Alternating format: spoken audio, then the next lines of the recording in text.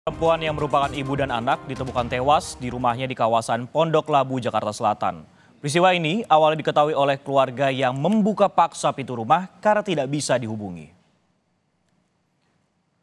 Warga Jalan Pinang Bahari, Pondok Labu, Jakarta Selatan dikejutkan dengan penemuan jenazah ibu dan anaknya di dalam rumah.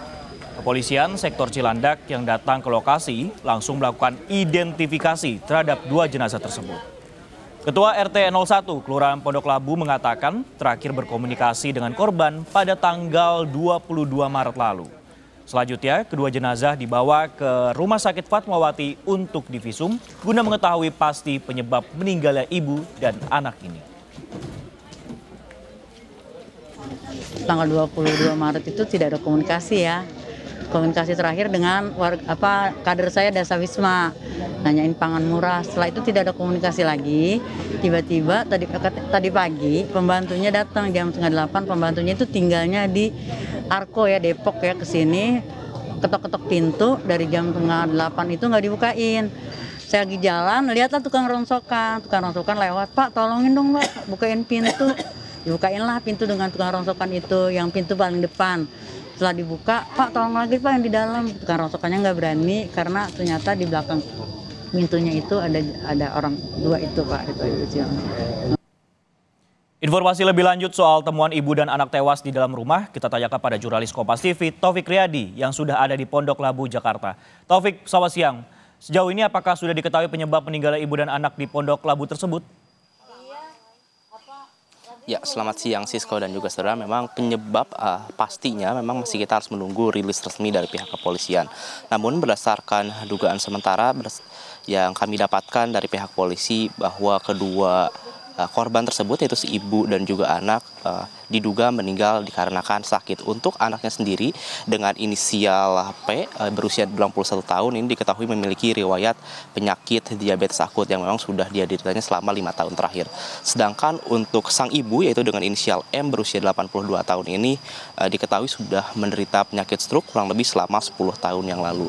Jadi memang jika kita uh, uh, men lihat uh, dari riwayat penyakit yang diderita dari keduanya ini memang kemungkinan besar mereka berdua ini meninggal dikarenakan sakit. Dan juga memang berdasarkan keterangan dari kepolisian sebelum kedua korban dibawa ke RSUP Fatmawati untuk dilakukan visum tidak ada uh, kekerasan atau bekas kekerasan sehingga memang diduga kuat ini memang karena sakit.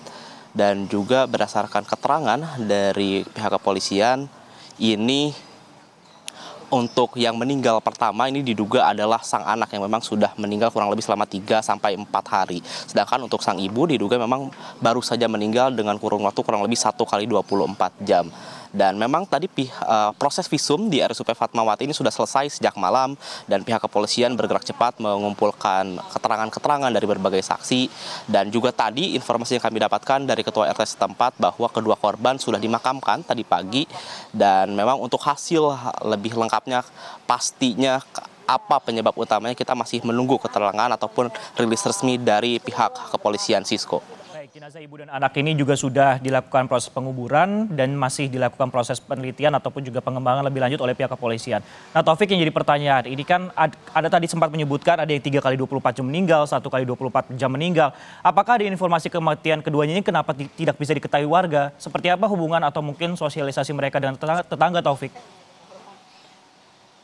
Ya, berdasarkan keterangan dari tetangga Sisko, ini kedua uh, orang tersebut, kedua korban tersebut ya ibu dan anak tersebut, ini memang sudah jarang berkomunikasi dengan warga dikarenakan kedua ter orang tersebut yaitu sakit. Dan untuk anaknya uh, dengan inisial P ini memang sebelumnya cukup aktif di masyarakat, mereka sering ikut kegiatan seperti arisan, lalu juga kegiatan sosial lainnya.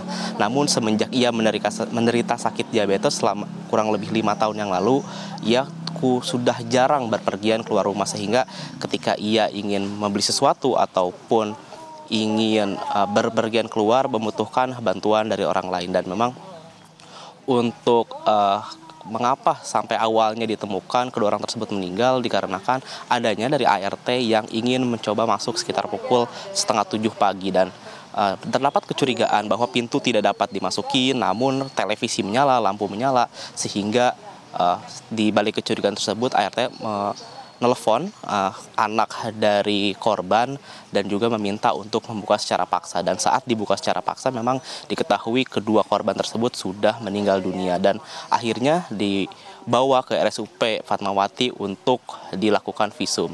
Dan memang berdasarkan keterangan warga juga di kanan kiri ya tetangganya ini tidak tercium bau busuk sehingga tidak ada kecurigaan dari uh, warga sekitar. Dan memang saat ini untuk uh, kedua korban tersebut sudah dimakamkan dan kita masih tetap menunggu rilis resmi dari kepolisian seperti apa atau apa penyebab kematian dari kedua korban tersebut Sisko.